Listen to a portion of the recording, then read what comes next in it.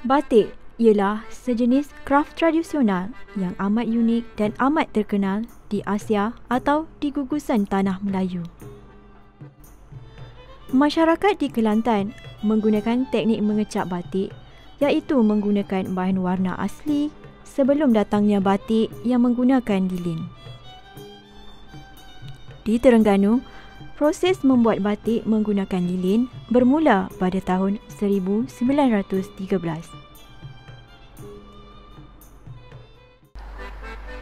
Jenis kain campuran Sutera ulat sutera dan gentian lembut untuk menghasilkan kain yang berkilau.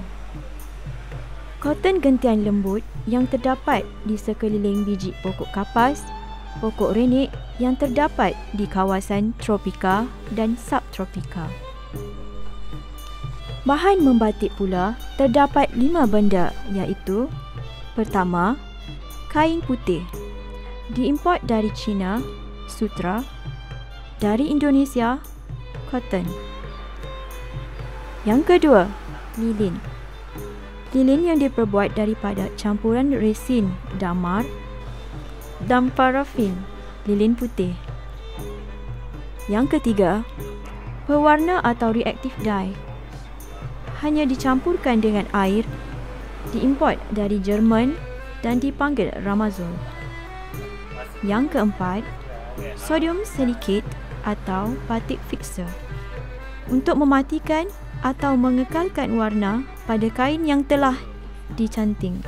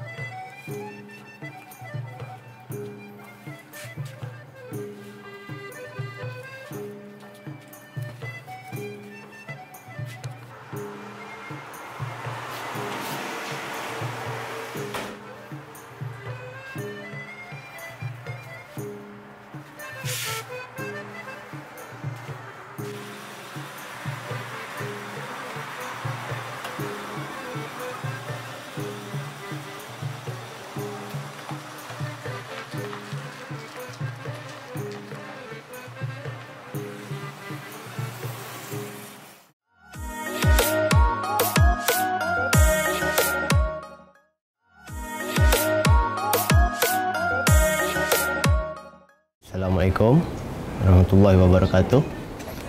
Nama saya Alif Haikal. Berumur 28 tahun. Saya berasal dari negeri Terengganu, anak jati negeri Terengganu.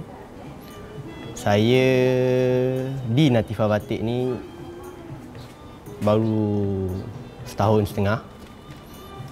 Saya selaku menantu kepada Natifah Batik. Okay. Sebelum ni saya bekerja dek, uh, sebagai design engineer dekat Shah Alam. Saya balik di Terengganu ni selepas saya berkahwin dengan anak nanti Batik. Alat canting digunakan bagi melakar corak batik dengan lilin panas di atas kain putih.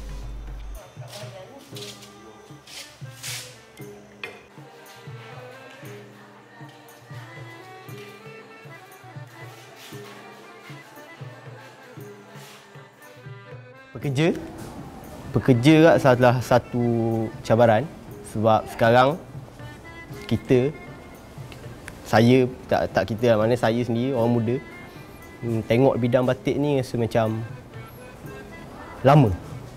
Maknanya orang nak bekerja tu benda yang lama. Orang tak pandang. Cabaran untuk cari pekerja uh, sangat uh, mencabar juga. Uh, yang kita ada sekarang ni pun orang-orang yang lama. Uh, especially bagian mencanting kepakaran eh, melukis menggunakan lilin nak mengawal proses panas sejuk tu tu adalah satu cabaran yang besar untuk kita mencari pencanting lah salah satu cabaran yang penconteng ni kita boleh ajar menyonteng ni kita boleh ajar daripada awal uh, itulah cabaran yang mana saya kesimpulannya cabaran dia musim hujan dan bekerja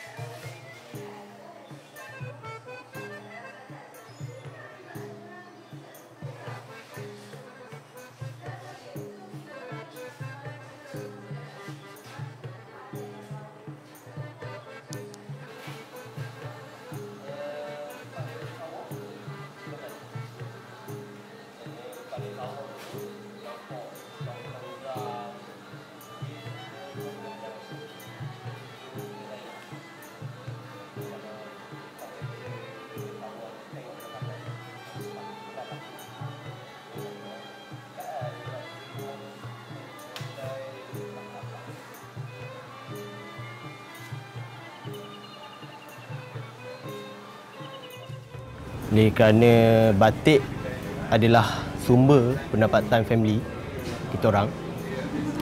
Dan batik ni juga adalah tradisi yang lama maknanya dah 25 tahun. Natifah batik ni berjalan, beroperasi. So saya mengambil langkah untuk sambunglah uh, menguruskan Natifah batik. Dan bersama-sama dengan anak anak-anak nanti Fawatik lah.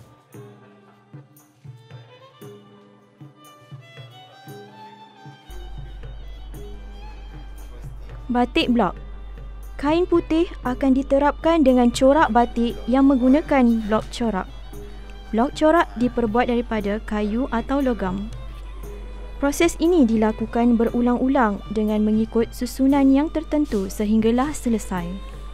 Di mana Blok itu telah dicelupkan terlebih dahulu ke dalam pewarna sebelum ditekapkan di atas kain tersebut.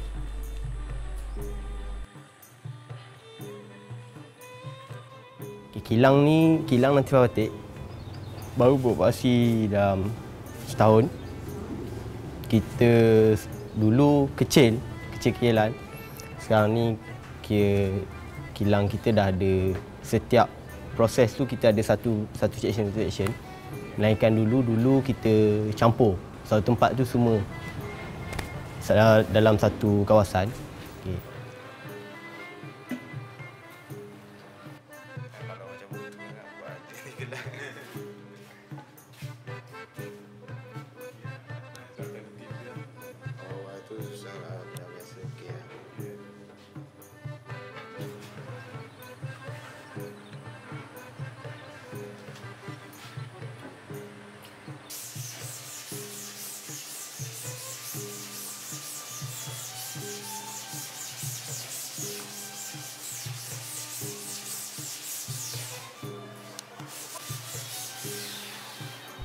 Setelah kerja-kerja melakar selesai, proses mewarna mengikut kesesuaian corak dilakukan dengan menggunakan gerus cat di mana bahagian-bahagian yang terkena lilin itu tidak akan meninggalkan kesan warna apabila proses mematikan warna dilakukan.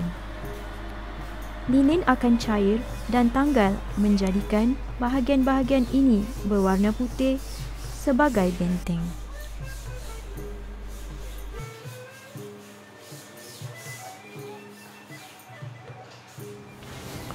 Saya di dalam batik, bidang batik ni zero. Saya start belajar pun apabila saya masuk dekat Natifah Batik dan saya banyak belajar daripada owner sendiri Natifah dengan Haji Zulkifli iaitu ayah dan mak mentua saya. Sama dengan anak-anak kita orang menyambung.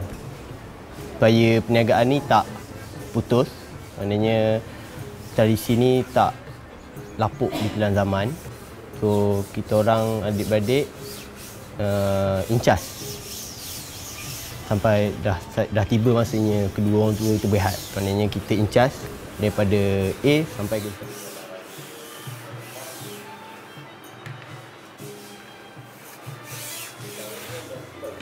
Cabaran dalam bidang batik ni uh, nak kata dalam setahun tu taklah selalu mencabar. Maknanya paling kritikal cabarannya pada musim hujan. Maknanya batik proses membuat batik ni kalau pada musim hujan kita akan ada sedikit stuck lah sebab cuaca. Bila hujan kita kain kita lambat kering. Uh, kadang-kadang tempat yang kita kilang kita ni pun terpaksa rehat sebab ribut kadang-kadang lepas tu ada kebocoran benda yang tak dijangka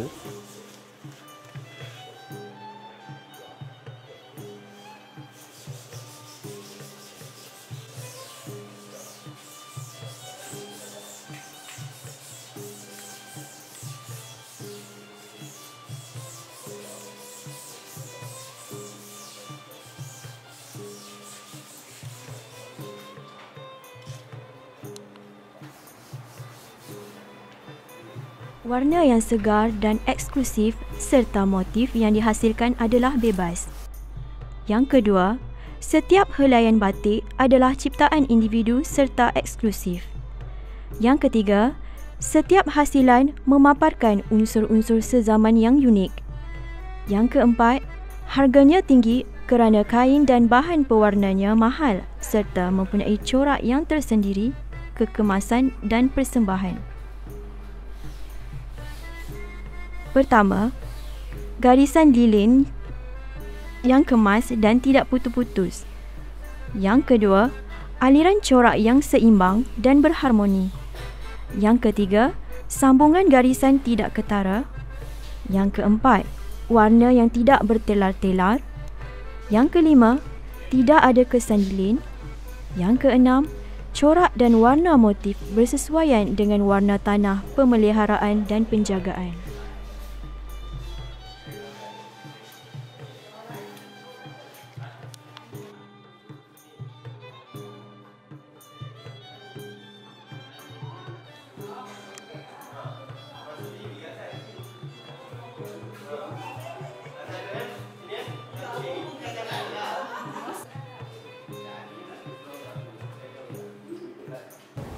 Harapan saya dalam industri batik ni saya mengharapkan anak-anak muda dapat mewarisi lah eh, dapat mengekalkan supaya anak cucu kita ni masih lagi dapat melihat dapat merasa dapat pengalaman uh, di dalam bidang batik ni.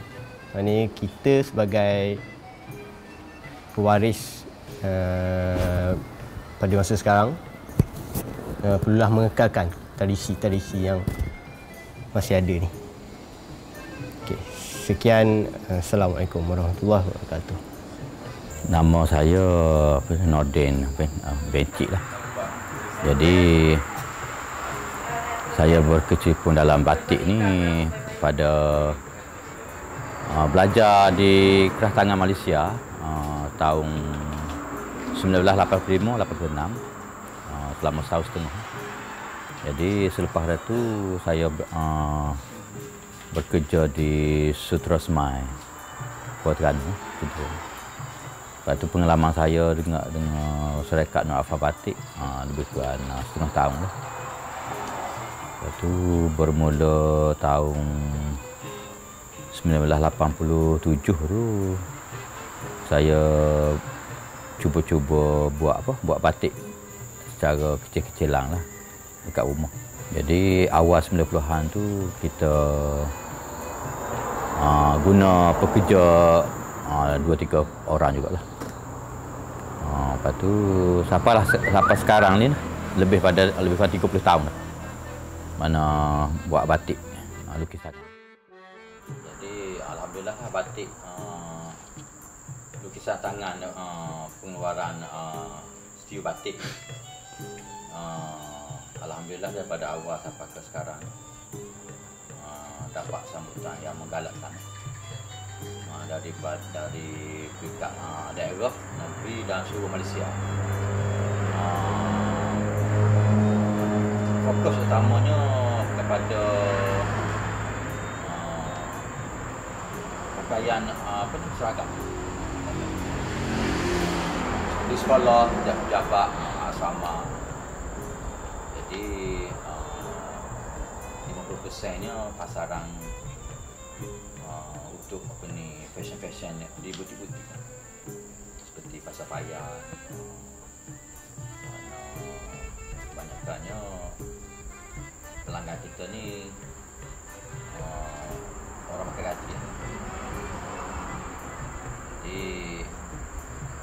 Alhamdulillah kan sekarang ni setiap hari Khamis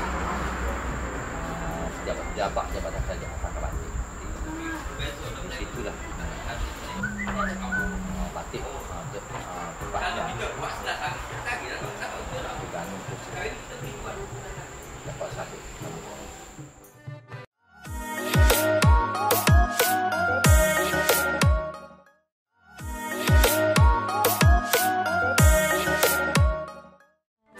Assalamualaikum warahmatullahi wabarakatuh. Uh, nama saya Nur Sabiha binti Zulkifli. Uh, umur 26 tahun. Uh, uh, saya asal Kuala Tengganu, Kampung Gelugu Haji Tahir. Saya anak sulung uh, dari empat adik-beradik. Uh, saya kerja di Natifah Batik ni uh, dah uh, 6 tahun. Dah 6 tahun. Uh, lepas uh, habis uh, diploma. Uh, lepas habis diploma, saya terus kerja dengan mak saya.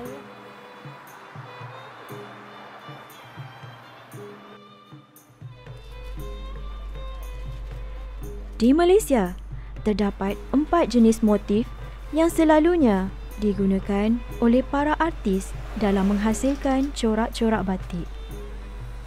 Ianya adalah motif flora, motif fauna, motif geometri dan motif abstrak.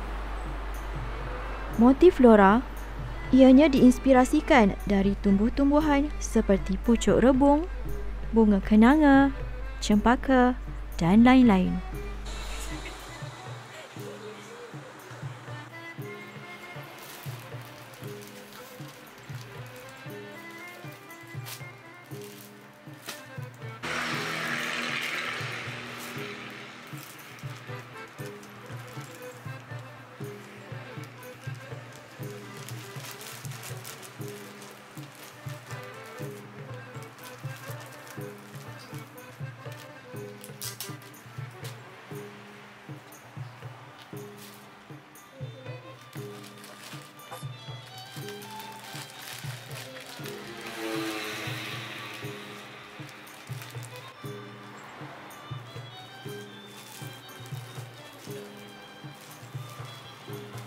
Jadi yang yang datang ke kedai ni uh, kebanyakannya dari Sabah, uh, Kuala Lumpur, Singapura, uh, Johor. Uh, kebanyakannya orang luar. Orang Terengganu biasa cikgu-cikgu lah. Persatuan uh, uh, batik ni. Jadi dari situ saya tengok oh rupanya uh, ramai yang uh, yang nak batik. Cumanya uh, uh, tak pasarkan dari segi maksudnya kualiti ada nak batik tapi kualiti dia ha, dia nak tahu daripada situ. Ha, betul jadi kita pun pasal dengan online lah. Ha, kita buat uh, start buat online. Uh, kita pasarkan dengan online.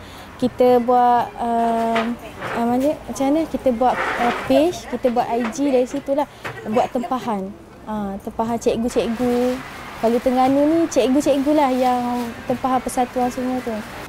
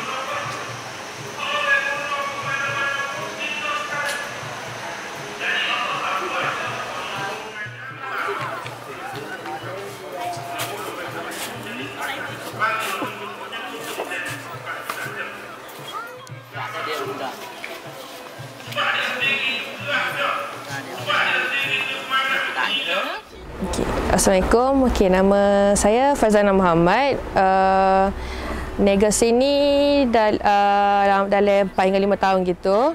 Uh, batik hot ni semua batik Kelantan.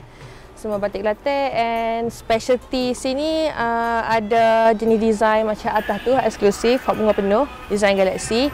Uh, design tu sini je ada, lain tak ada sebab dia bunga penuh, orang lain tak boleh buat sebab batik sebab-sebabnya kalau kita gini orang boleh buat tapi kalau hot gitu sini je ada. Okey, uh, kalau dari segi kualiti, kain batik ni jenis kualiti. Ada hok molek, ada hok tak molek. So, kalau hok sini memang kita beli hok bagi molek-molek belakang. Color pun color hok molek. Bukan kata color pakar tu basuh, teguh, color apa, luntur semua dak lah. Sebab semua sini batik hok kita memang dari lagi ayah, hok ayah ni dijaga kualiti. Kualiti yang paling penting. Uh, so, daripada kain, daripada dari segi warna semua tu semua yang kualiti molek atas material jugalah kalau crepe kalau crepe tu 300 gitu. Kalau cotton dia murah sikit dalam 100 lebih. 120 sampai 100 gitulah kalau crepe 300 sampai 200 setengah ha, kalau crepe kalau ni kali ikut semasa kedai tak ada saya sebab saya pun buat online juga. So kalau online tu batik boleh dalam 5000 gitulah 5 8000